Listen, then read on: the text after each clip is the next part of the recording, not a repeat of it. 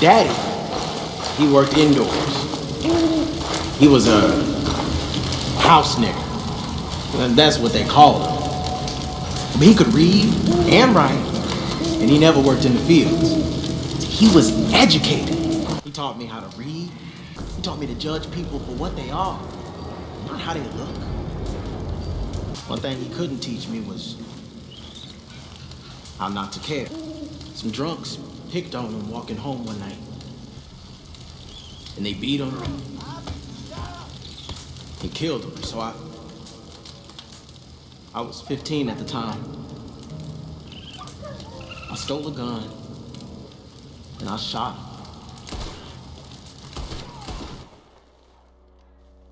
So then they wanted me, so I went on the run. I ran right till I bumped into Dutch.